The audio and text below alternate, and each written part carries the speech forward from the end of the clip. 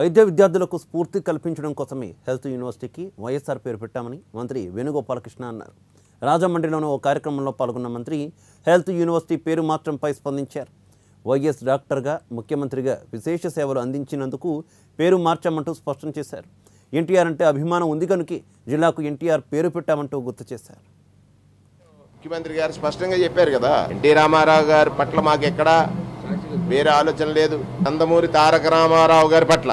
మా మేమందరం కూడా గౌరవంతో కదా వారికి ఆ కృష్ణా జిల్లా వారు పుట్టినటువంటి జిల్లా కృష్ణా జిల్లాకి ఆయన పేరు పెట్టాం. ఇక్కడ ప్రధానంగా ముఖ్యమంత్రి గారు చేసిన ప్రతిపాదన ఏమిటంటే స్వాతంత్ర్యం వచ్చినప్పటి నుంచి మొన్న తెలుగుదేశం పార్టీ పరిపాలన సాగించే ఎనభై రెండు వరకు కూడా ఎనిమిది కాలేజీలు ఉన్నాయని ఆ ఎనిమిది పదమూడు అవడానికి కారకుడు ఎవరు?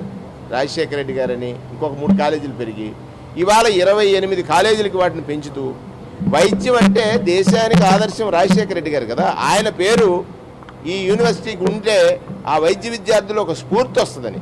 వైద్య విద్యార్థులు ఒక స్ఫూర్తి వస్తుంది.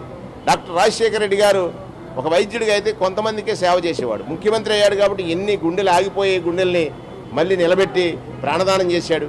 అందుకే కదా ఆయన చనిపోతే అన్ని గుండెలు ఆగాయి.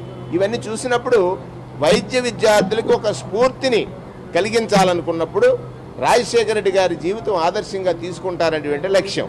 ఇక్కడ ఎన్టీ రామారావు గారిని కించపరచడం కాదు ఇక ఏలూరు జడ్